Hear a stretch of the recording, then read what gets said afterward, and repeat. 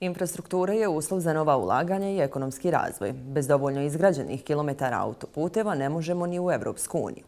Koridor 5C je jedan od najvećih investicionih projekata u našoj zemlji. Izgradnjom ovog koridora Bosna i Hercegovina će se spojiti sa regionom, ali i sa zemljama Evropske unije.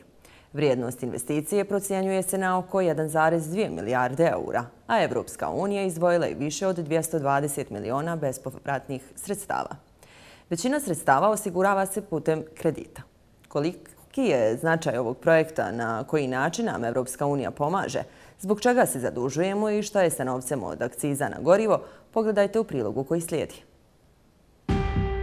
Izgradnja koridora 5C je najveći investicioni projekat u našoj zemlji koji zahtjeva značajne finansijske i ljudske resurse, a sa čijom gradnjom se počelo 2001. godine. Transportni koridor 5C je dio transportne mreže Evropske unije koja planira uvezati zemlje Unije, ali i zemlje Zapadnog Balkana. Izgradnja koridora 5C je u nadležnosti entiteta u smislu da dio koridora 5C koji prolazi kroz određeni entitet E, samo izgradnju sprovode da li su to autoceste federacije u federaciji i autoputevi u Republici Srpskoj. Dionice koje se planiraju završiti u ovoj godini su Svilaj Ođak, odnosno most Svilaj, tunel Zenica Donja Gračanica i dionica Buna Počitelj. Iz autocesta federacije, ali i nadležnih ministarstava očekuju završetak ovog projekta do kraja 2028. godine. Međutim, izgradnja koridora 5C podrazumijeva i izgradnju dionica koje nisu obuhvaćene ovim projektom. Nas ne čeka samo izgradnja ovog ostatka autoceste, nego na 5C koridoru nas čeka izgradnja preko 1000 km cest, brzih i autocesta kroz Bosnu i Hercegovinu, koji su važni i za povezivanje države, ne samo u jednom smjeru sjever-jug, nego i u smjeru istok-zapad i, i e, mogućnost te komunikacije koja inače u Bosni i Hercegovini je problematična zbog njezine geografije. Radi se autoput koji ide od Banja Luke e, preko Gradiške prema Okućanima, i drugi dio autoputa koji ide praktično od Laktaša preko Doboja, spaja se sa koridorom 5C, a zatim u daljoj, e, e, u daljoj etapi spaja se sa autoputem E, e, Beograd, Sarajevo, Beograd. Tako da ćemo u tom dijelu imati povezano Banja Luku preko koridora 5C sa Brčko, Račom i Beogradom, a sa druge strane e, imat ćemo povezanost i koridora 5C sa ovim autoputem koji ide od Beograda prema Sarajevo i Sarajevo-Beograd. Vrijednost investicije procijenjena je na oko 1,2 milijarde eura, dok je Evropska unija izdvojila više od 220 miliona eura grantova koji predstavljaju bespovratna sredstva.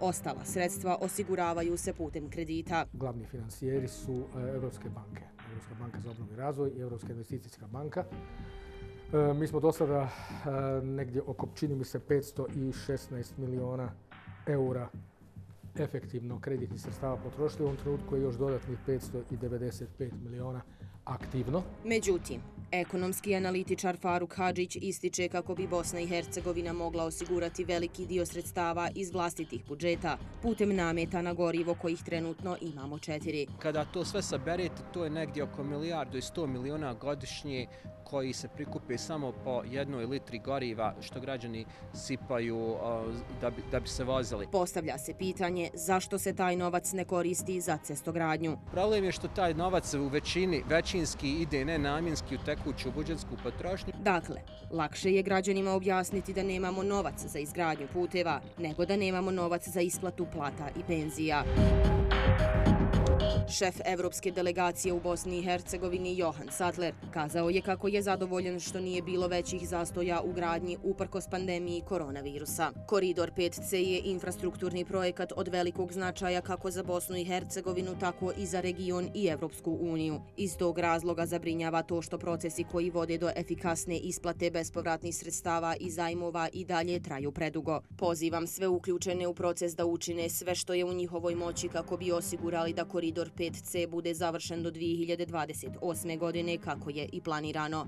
Značaj izgradnje koridora 5C je više struk što ističu i naši sagovornici. Investicije u cestogradnju imaju pozitivan ekonomski učinak i na rast BDP, jer svaka investicija nema samo taj neki primarni efekt u smislu da se otvaraju građevinska radna mjesta, znači direktno povezana sa, sa tom investicijom, nego postoje drugi indirektni efekti um, što se tiče dobavljača um, dodatnih radnih mjesta u tim nekim uh, drugim sektorima. To znači povećanje prometa kroz Bosnu i Hercegovinu, znači kroz federaciju na ovoj srednjeevropskoj uh, srednjeevropskom uh, uh, transportnom putu, znači praktički to je to je put između Crnog mora, Baltika i Jadrana. E, to znači e, veliku kapitalnu investiciju u Bosnu i Hercegovinu, generalno kroz federaciju, ali i dijelom kroz Republiku Srpsku. Treba imati u vidu i samu raskrsnicu, odnosno presjecanje koridora 5C sa koridorom 10, odnosno autoputem Beograd-Zagreb,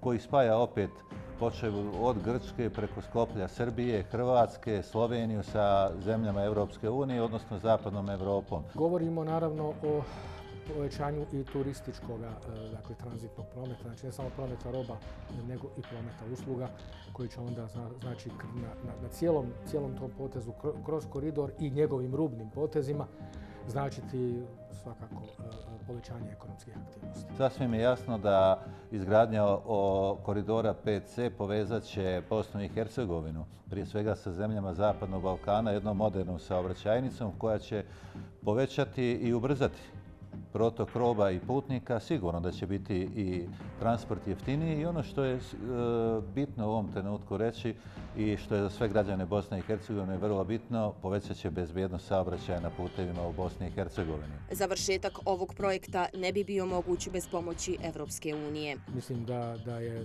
ta pomoć Evropske unije izuzetno dobra izuzetno dobra, izuzetno potrebna i u tom smislu smo zahvalni Evropskoj uniji na toj vrsti pomoći. Evropska unija isto tako pomaže kod e, određenih e, studija izvodljivosti, zatim određenih projektnih rešenja, dodjeljivanjem grant sredstava, upravo na, na način da nam olakša samo finansiranje i omogući što prije izgradnje ove infrastrukture koja je potrebna prije svega Bosni i Hercegovini, a onda i Evropskoj uniji.